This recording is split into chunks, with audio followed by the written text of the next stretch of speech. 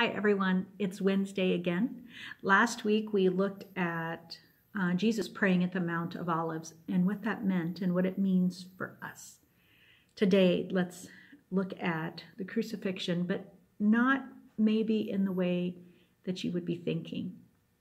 So let's get our Bibles, get your pen, pencil, highlighter, notebook, whatever you want, and let's get started. So I'm in Luke chapter 23. Luke chapter 23, starting on verse 32. I'll read it. Two other men, both criminals, were also led out with him to be executed. When they came to the place called the skull, there they crucified him along with the criminals, one on his right and the other on his left. Jesus said, Father, forgive them, for they do not know what they are doing. And they divided up his clothes by casting lots. The people stood watching, and the rulers even sneered at him. They said, He saved others, let him save himself, if he is the Christ of God, the chosen one. The soldiers also came up and mocked him. They offered him wine vinegar and said, If you are the king of the Jews, save yourself. There was a written notice above him which read, This is the king of the Jews. One of the criminals who hung there hurled insults at him. Aren't you the Christ? Save yourself and us. But the other criminal rebuked him. Don't you fear God, he said. Since you were under the same sentence, we are punished justly, justly for what we are getting. For we are getting what our deeds deserve, but this man has done nothing wrong. Then he said, Jesus, remember me when you come into your kingdom. And Jesus answered him, I tell you the truth. Today you will be with me in paradise.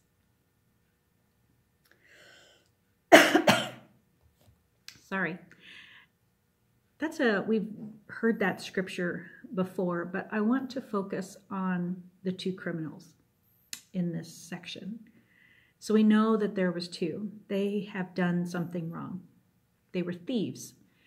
And we know that for Jesus to go to the cross, he was placed in front of a crowd next to a murderer, Barabbas. And Pilate said, I'm going to give you a choice. We're going to do a crucifixion, and you can crucify this murderer or Jesus, who's done absolutely nothing wrong. And of course, we know the crowd picked Jesus. And so Jesus is uh, tortured before he even goes out to the cross.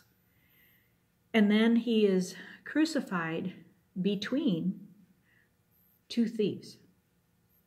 And it's interesting that one is on his right and the other is on his left. So Jesus is in the middle. So Jesus can hear what they're saying. They can both turn their head and have a wonderful view of Jesus. Jesus isn't on one end and then the other two. So the one right next can see Jesus perfectly, but the other one can't. No, Jesus is right in the middle with one on each side. So they both can turn their heads and they can look at Jesus and they can see what he's going through. They can see how he was tortured. Now, Jesus dies within a couple of hours because of the blood loss that he went through. The thieves did not. They ended up having to have their legs broken so they would die because they hadn't been tortured to the point that Jesus was. So, what's the significance of this? Well, we hear about it how people are hurling insults. So, people are gathered all around them. They haven't chosen side and said, let's take the side of this thief and let's take the side of this thief. No, there's people gathered all around and they're all there to witness this crucifixion. They're all there to see it. Some are loved ones, others just want to see the show. And some, they just came to watch Jesus die. They've heard a lot about this Jesus. They may not be there to see the two thieves, but they're definitely there to see Jesus and watch what happens to him. And so all this is taking place, and the thieves are hearing what the other people are saying. And one thief takes on the insults that he's hearing other people call out. He continues to take a side against Jesus. He's going to die. And he says to Jesus, So if you really are the Son of God, like get yourself down and take me with you. You know, get us all down. You know, quit saying you're the Son of God. He's insulting Jesus. They're both going to die. And he continues to insult Jesus, even in his dying words. But the other thief, he sees something. He sees something that the others don't see. He sees this man who's been tortured beyond oblivion, and he knows he's done nothing wrong, and he knows he has. And he's like, if you really are the Son of God, why are you doing this? Why would you not fight for yourself? So this thief knows he really is the Son of God. And so he makes the comment Remember me when you come into your kingdom. Because he sees something the others don't. He sees something that the other thief does not. And Jesus' response is one for all of us. Today, you will be with me in paradise. So each of us has a choice. Each of us is like one of those thieves.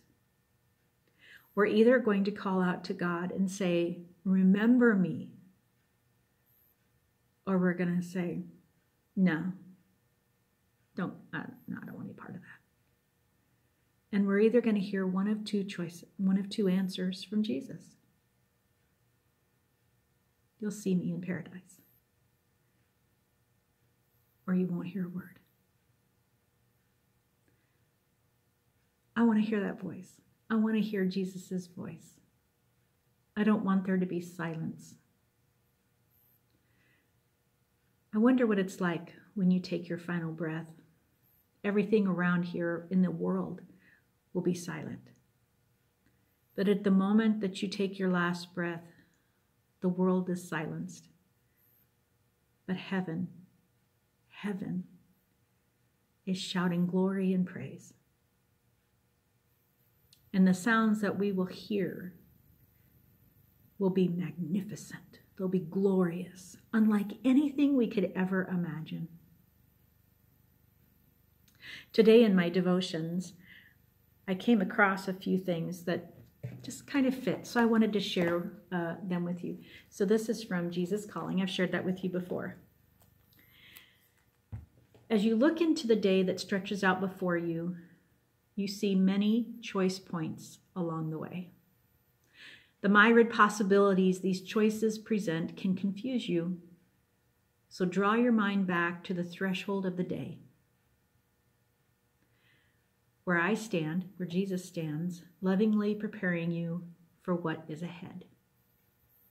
You must make your choices one at a time, since, since each is contingent upon the decision that precedes it. Instead of trying to create a mental map of your path through this day, focus on my loving presence with you. I will equip you as you go so that you can handle whatever comes your way. Trust me to supply what you need when you need it. I thought that was so beautiful and so fitting for the message for today. And then I have this other one, and I think I've used this a couple of times. It's the one year women's friendship devotional, and I have been using this devotional, I don't know how many years, but every time I read it, I come across something something new and different. And today it was a story about a missionary. Her name was Hannah Hunt Hurnard. Hurnard, I'm not sure if I'm pronouncing that right. Right. But she was a missionary not because she wanted to be. She had a stuttering problem and she wasn't comfortable being around people. But she felt like God was calling her to do this. And she just kept listening. And um, she she decided, you know what, if this is really what God wants, I, I, can't do anything but. So she went on to become an amazing speaker and writer. And she led a lot of Jewish people to know God. Now, Hannah had a dislike, a disdain for the Jewish people. And she really felt like God was calling her to minister to the Jewish people. And she's like, uh, no, I don't like those people. I don't, I don't agree with them. I don't like them. Why would I do that? But she kept listening to God, talk to her heart. And she decided, you know what? I'm going to just trust you. And so she did. And so this was the thought for the day, and I'm going to read it to you. God's will is easy to find if we want it. Really, the only people who miss his will are those who have no use for it. The months and years may show us that we've taken a strange roundabout way, but if our hearts are right, our feet will never go astray. And that was a quote by David Roper. I thought that was just utterly fantastic. If our hearts are right, our feet will never go astray. Isn't that just powerful? If your heart is right with God, God will lead you where you need to go. So you have a choice to make. Are you the one saying, No, not for me? Or are you the one saying, Remember me, remember me, remember me? Let us pray. Dear Heavenly Father, thank you so much for the message and for the reminder that you give us the choice to call out to you or to say, I know you not. And thank you for remembering us when we cry out to you. Thank you for holding us in the palm of your hand.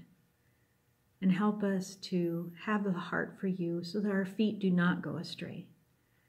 We ask all of these things in your very precious name. Amen. I can't wait to Zoom with you all tonight, to see your faces and to hear you. Love you all, and I miss you to, to the moon and back. Bye.